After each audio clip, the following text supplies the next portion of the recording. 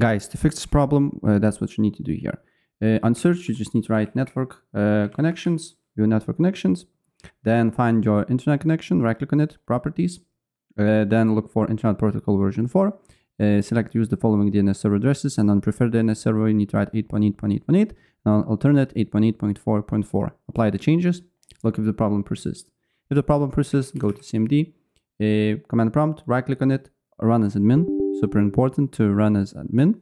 Then you, you just need to write ipconfig uh, forward slash uh, forward slash flush DNS. Next is netsh winsock reset.